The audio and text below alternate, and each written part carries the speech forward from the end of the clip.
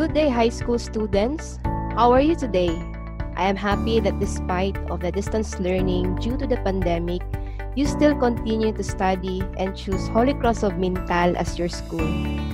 Our setup may be different this school year, but I hope that you will still do your best to learn and to enjoy even if you are just at home.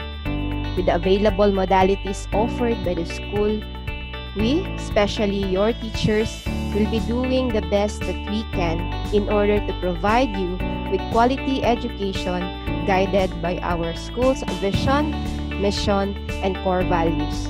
I hope that when we come back to the face-to-face learning soon, you can still memorize them at heart. God bless you and your family.